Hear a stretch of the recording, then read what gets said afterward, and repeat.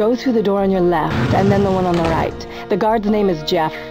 Tell him you need gold. My name is Geoff.